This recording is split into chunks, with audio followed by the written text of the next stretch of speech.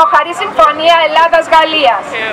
Με νοπές ακόμα τις μνήμες από την ανίποτη καταστροφή των πυρκαγιών του καλοκαιριού, όπου υπήρξε απελπιστική έλλειψη πυροσβεστικών αέριων μέσων, η κυβέρνηση αποφασίσει να αγοράσει άλλα έξι πολεμικά αεροπλάνα, ανεβάζοντας την αρχική πανάκριβη παραγγελία των 18 Ραφάλ σε 24. Ενώ τα συστήματα δημόσιας υγείας και παιδείας βρίσκονται σε τραγική κατάσταση, η ίδια κυβέρνηση που είχε δηλώσει ότι δεν υπάρχουν λεφτόμετρα, αγοράζει τρεις συν μία πανάκριβες φρεγάτες και τρεις κορβέτες. Αυτές οι μεγάλες αγορές φέρνουν και μια επικίνδυνη αναβάθμιση του μιλιταρισμού και της πολεμοχαρούς κουλτούρας, ενώ η έξαση της πολεμοκαπηλείας και του αντιτουρκισμού στρώνει το έδαφος και στις πρόσφατες προσπάθειες φασιστικών συμμοριών να ξανασηκώσουν κεφάλι. Το πολεμοχαρές σύμφωνο με τη Γαλλία βαφτίζεται αμυντικό, ενώ είναι πασιφανές ότι στοχεύει προς την Τουρκία και αποτελεί ευρύτερη επίδειξη δύναμης στην Ανατολική Μεσόγειο.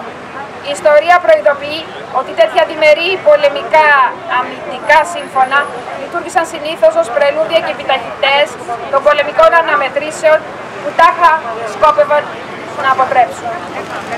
Ο ρόλος και οι φιλοδοξίες του γαλλικού υπεριαλισμού σε ζώνες όπου υπήρξε απεικιοκρατική δύναμη και εξακολουθεί να θεωρεί σφαίρες επιρροής, Αφρική, Μέση Ανατολή, δεν αφήνει κανένα περιθώριο για αυταπάτες ως προς την επιθετική φύση της συμφωνίας. Πρόκειται για εξελίξεις της βάσταχτες, οικονομικά, αντιδραστικές ως πρωτοβολικό κλίμα στη χώρα και επικίνδυνες για την ειρήνη. Η απάντηση χρειάζεται να δοθεί από τον κόσμο του κινήματος και τις δυνάμεις της ριζοσπαστικής αριστεράς.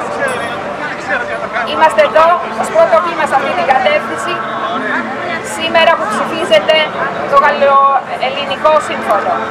Γνωρίζοντας ότι μέσα στη Βουλή επικρατούν οι συνενέσεις εκ της αρχής και οι επικίνδυνες καυγάδες εθνικής πλειοδοσίας μεταξύ κυβέρνησης και αντιπολίτευσης, χρειάζεται να ακουστεί έξω από τη Βουλή η αντιπολεμική κραυγή.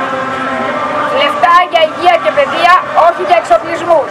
Καμιά συμμετοχή σε περιελιστικές επεμβάσεις. Διεθνιστική αλληλεγγύη των λαών σε Ελλάδα, Κύπρο, Τουρκία.